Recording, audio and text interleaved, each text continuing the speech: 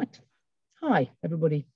I'm Kate Saffin. I, um, I've been composting all my, my loo contents for the last eight years. Now, an admin of the compost toilets for boats and off-grid living. Martin? Hi, yeah, I'm Martin Doyle. Um, I currently work uh, for Woo Woo Waterless Toilets, who distribute Separett, Airhead, and a few other brands in the UK. Um, prior to that, uh, from 2012 2008, I had my own business called The Little House Company, where I sold separators and made compost toilets. And from 2012 is when I first used, uh, first started using my own compost toilet. And I'm Compost John, aka John Cossham.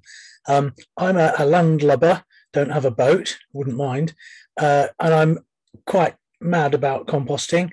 I did uh, my dissertation for my degree back in the 90s on composting, and I'm what's called a master composter, and I teach people about composting. So I'm going to teach you a little bit. So, and I'm based in York. So, uh, yes, that's me. Thanks, so Kate. we're all involved in different ways. So you've actually got quite a breadth of experience there with Martin's work with toilets, John's with composting, and mine um, being a, a composter on a boat without a home mooring. And I'm going to hand over now to Martin, who is going to take us through more, in a sense, more than, than just the separating toilet most of us are familiar with, but the whole range of toilets that don't involve water. Yeah, thanks very much, Kate. Um, so, um, good evening, everybody. Uh, welcome. I hope you're all well and warm and aren't going to get blown away tomorrow with the uh, forecasted winds. Um, one of the things I wanted to do was to take you on a very, very quick presentation just to make sure that you, you are familiar with compost toilets versus composting toilets and what some of the differences are, because they can catch people out and it is sort of quite important uh, to um, uh, to know about those differences. So I'm just going to um, share this. So um, Kate, can you just nod and let me know that that's looking okay? Excellent. Okay. So we're going to first of all talk about different types of dry toilet. So you, you'll hear people interchangeably use use words like dry toilet, waterless toilet. Um, urine diverting toilets, separating toilets, uh, and you may sort of wonder what is the difference between them. So the first thing I want to talk about is the difference between a composting toilet as opposed to a compost toilet, because the difference actually is quite important and quite substantial, and people use the two words interchangeably. And I know that the company I work for at the moment is guilty of using both words because we have to for SEO purposes, because people don't know what they're searching for, although arguably Google will find it anyway. So the first thing, let's first of all, let's look at composting toilets. So the primary thing about composting toilets is that essentially poo and probably we go into it and what comes out of it directly is compost. In other words, the whole process happens inside the toilet. So there's two ways of doing that. You either have um, quite big, physically big toilets, um, so the toilet on the left that, that you can see on your screen, where you've got twin chambers sort of below the ground, that essentially each chamber has to usually be able to hold a year's worth of contents to allow it to break down. And you use the first chamber, then you swap to the second chamber, leave the first one to compost. So they're obviously no good on a boat. The other way that you can have a composting toilet is by speeding up the composting process. And there are a number of toilets on the market. Uh, the one in the center is a particularly pretty looking toilet. Um, and these use a combination of agitation. So they're actually got mechanical things inside that get the air going, and usually also heat as well to evaporate the urine off and to produce something which comes out the bottom after a few weeks, which they say is compost, but I would argue it isn't. I would say it's more desiccated. The contents have been dried out the bugs have been killed because of the drying process. I wouldn't call it compost, but technically, I suppose in some ways that, that they call them compost toilets. My main issue with these, and, and maybe there are people who use them who would argue otherwise, but they are very complicated and they consume a reasonable amount of energy. So I, I don't, I wouldn't call them green at all, but they are around. Probably not suitable for boats, although I guess a few people may have tried them over the years. So that's the composting toilets. So then what is a compost toilet? Um, a compost toilet is much smaller and simpler because you are collecting the waste for a short period of time and then you're taking that waste in inverted commas we don't like to use the word waste but you're taking that material out and you're composting it outside the toilet so it means that the toilet itself is physically quite small you can have some really incredibly small compost toilets um, because you're composting outside. So, in other words, the toilet is part of a system. So, whereas the composting toilet is the whole system, start to finish, a compost toilet is the collection end of a composting system. Compost toilets themselves can be broken down into a number of different types. Um, and this is my interpretation. You may want to add some extra uh, on here, but let's just talk about some of the very basic pros and cons because they all affect how you would compost uh, or some of the things you might have to do on the composting side, which is how it relates to what John's going to talk about. So the most simplest type of toilet out there is, is what I call a bucket toilet, um, or has been popularized most recently by a guy called Joe Jenkins, who wrote the Humanure Handbook. Effectively it's a bucket with a toilet seat on and you can press it up and make it whatever you like but they are all in one toilet. So in other words wee and poo liquids and solids go inside the toilet. You use a cover material um, so fine wood shavings uh, sawdust from uh, you know this this type of things basically a carbon based material each time you've used the toilet and that carbon material acts as a cover and also reduces the, the odors. You've then got separating toilets with a fan. So by separating toilets, I mean the, the sort most of you are probably familiar with, which is when you look down the toilet seat, you've got a front part that catches the wee and a back part where the poo drops down into, into some sort of container. So those with a fan don't use any cover material. You've then got toilets typically with a fan and some sort of stirring mechanism. And I'll explain a bit more about these in a second. And then you've just got separating toilets that just use sawdust as a cover material. So if we look at the first one, um, the bucket toilet, the lovable loo, this is the one um, popularized by Joe Jenkins. Let's just have a look at some of the pluses and minuses. So number one, they're very simple. I mean, you can't get much simpler than a bucket with a toilet seat on the top. And, and that's literally all it is. And that's all it has to be. You can make them fancier, but that's what it is they are very cheap you know it's a toilet seat in a bucket it's it's that sort of cheap and you can box it in or not as the case may be one of the downsides for a mobile user um, is that they generate a lot of material so because poo and wee are going in they fill up very quickly um, urine we accounts for about 80% of the volume of what comes out of your body so it's about 80 80 20 20% by volume is solids about 80% is urine, more or less, depends on your diet and fluid intake. But that means they do fill up quite quickly.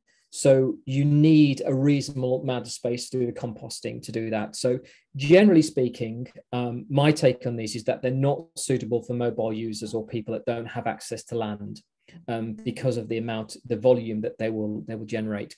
But they do produce fantastic compost because you're mixing everything together. And we've got some example pictures the top there, those are genuine lovable loos. And the bottom picture is a French company called Leco, Lecopot, and they produce a variety of toilets. This one has got a sawdust store at the top, so it looks like a traditional toilet with a cistern in. Then you've got separated toilets with fans. Um, so the most obvious ones come to mind, and, and there are more. I'm not just picking out these, but we've got the Separett Tiny on the left, and we've got the Simplu there in uh, on the right. And I know there's manufacturers such as Compost as well, who make um, separating toilets that have a fan. Um, arguably, you don't need to use cover material. Certainly with Separetts, I know because I've worked with the manufacturer since 2012, they say you don't need it. And, and I've had a Separett and you don't need it. It's as simple as that. The ventilation system is very efficient on them, which takes care of all of the odors. Um, Simplu, I think they say you don't have to, but you can do if you want to. Um, so th- the advantage of a separating toilet with a fan is it's very simple to use. You just sit in the toilet, do your business, walk away, that's it, job done. The second advantage, because you're not putting cover material in there, they fill up quite slowly because the only thing going in there is poo and toilet paper. So they do fill up quite slowly. So they, they last longer between empties.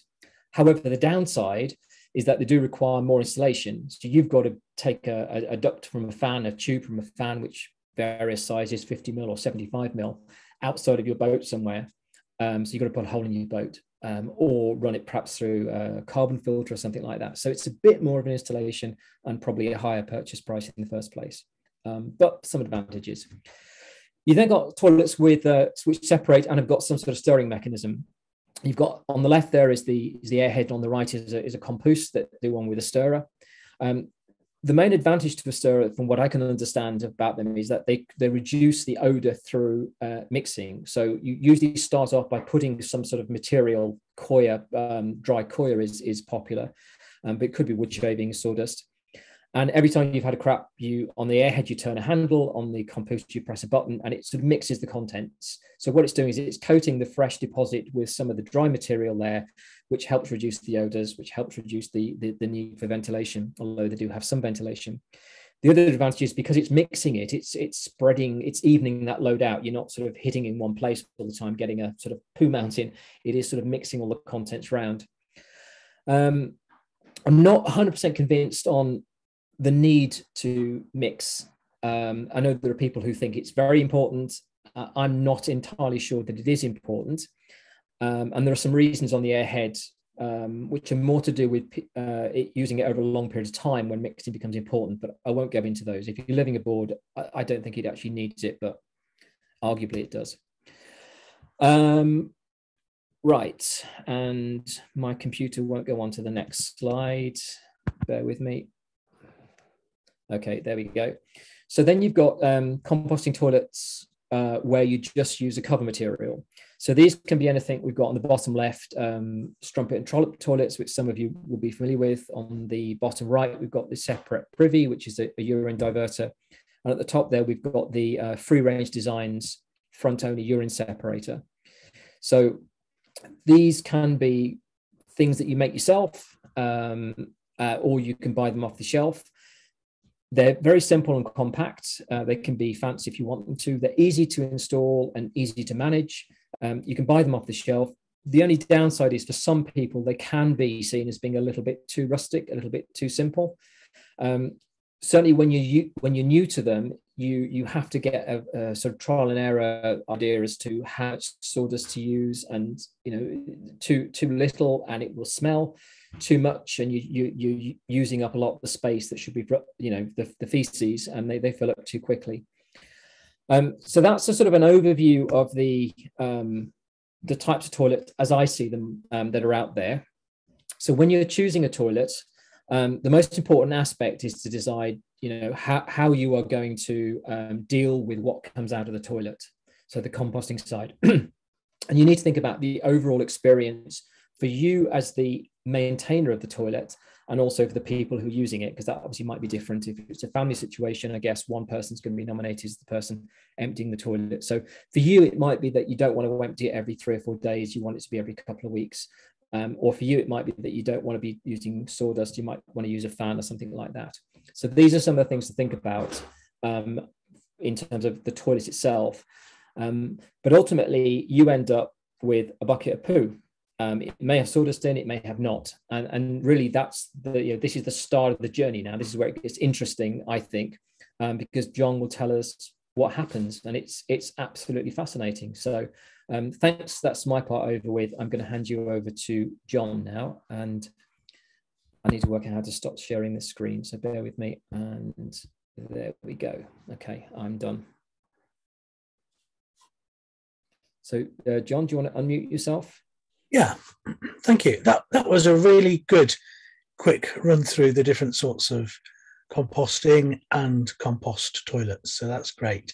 Um, I have a very simple compost toilet. It's a, a second-hand commode that cost me a fiver from a charity shop. It's a brewing bucket, which is 25 litres. Um, I put human urine, urine, toilet paper, and cover stroke soak.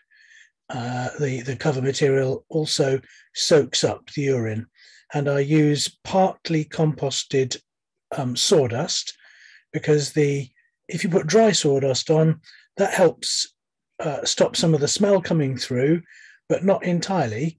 Whereas if you put partly composted sawdust on, it acts as a biofilter, and there are bacteria in the um, sawdust which actually stop the aroma coming through because they eat the long chain odor molecules, which is quite fascinating.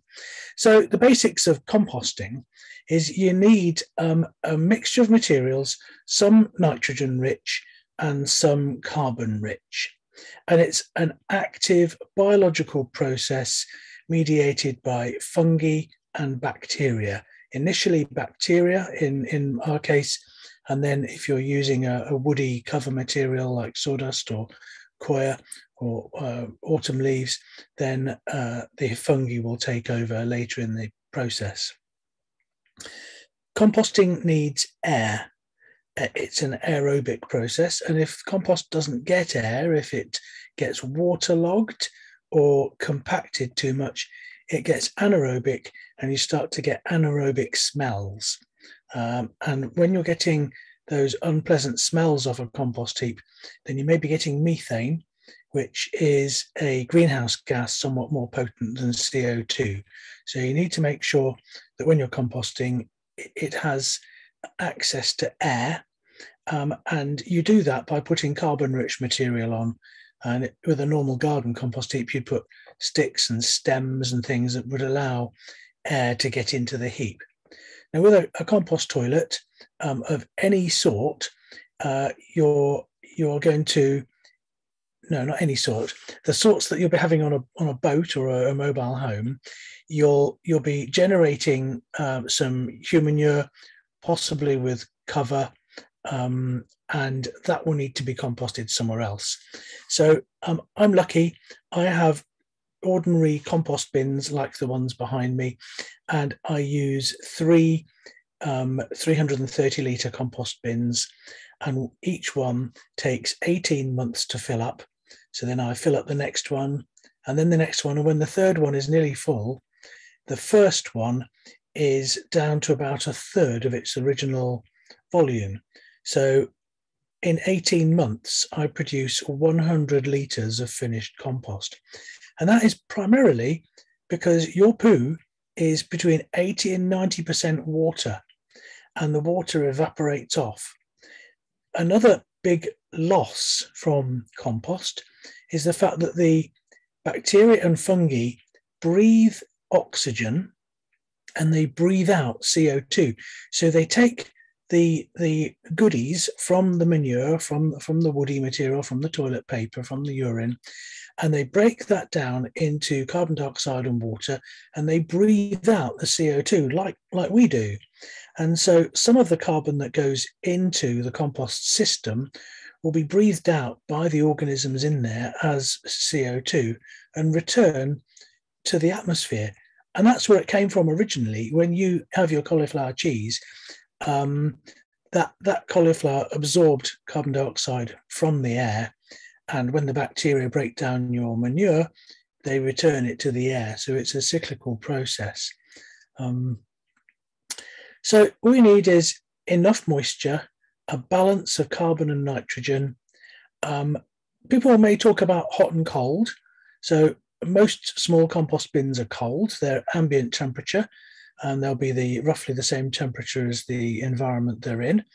But some of them if there's enough volume, will warm up because each bacterial cell generates a tiny, tiny amount of heat.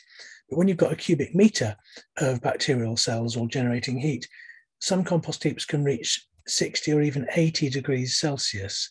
It's not actually very good to get them too hot. Um, they've even been known to catch fire. Uh, so a warm compost heap will act more quickly and it'll rot down more quickly. So some people, the holy grail is to get them up to about 40 or 50 degrees C and then they rot down really quickly. Um, but don't worry if your compost bin is cold. You, you could end up with a, an insulated compost bin. There are some commercial ones available called hot bin. Um, and you could make your own out of a polystyrene fish box. And all you do is you put your material in that and um, you can stir it. Just make sure there's a drain on it so that there's any liquid can get out. Don't let rain get in. Wet it if it's too dry. Um, and then the difficulty for uh, somebody without a garden is where to legally put your finished compost. And um, I think what we're recommending is um, to find a friend with an allotment or, or a bit of land and to not just dump it behind a convenient hedge or on the just off the towpath. Don't, don't do that. It, it'll get get boaters a bad name. You've got to really find somewhere to um, put your compost. Um, you could, if you're really lucky, put it straight into pots and grow yourself some salad. Um, this brings up the last point I'm going to make, which is about um, bacteria and health. Um, we, we, we do have um, bacteria coming out of our backsides that we don't want to go into our mouths. This is why we wash our hands after going to the toilet. Um, so the composting process um, will take long enough, it'll take six months or a year, enough for the vast majority of enteric bacteria, the bacteria that's in your gut, to um, die off because they need the environment which they prefer, which is inside you. Um, and so, after a certain amount of time, especially if there's elevated temperatures, these bacteria die off. And if you think about it, there's plenty of enteric bacteria flying around the environment anyway. Every time a bird plops on your roof, anytime a, a mouse runs along and dribbles urine or, or drops a, a mouse dropping, that goes into the soil, that will land on a flower pot and th- there's lots of uh, enteric bacteria, you know, gut bacteria around in the in the environment anyway. So it's not something that I would worry unduly about, but compost it for a good length of time. And um, after dealing with compost or, or any human manure materials, just wash your hands. I mean, it's sensible, isn't it? That is all I can think of, really. It's it's so simple is composting. So yeah, ha- happy compost toilets. Cheers.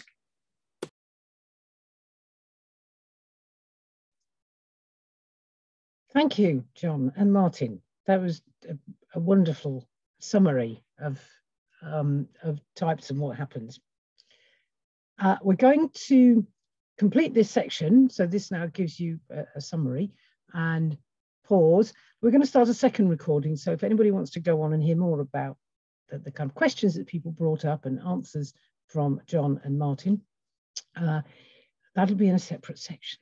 So thank you for watching.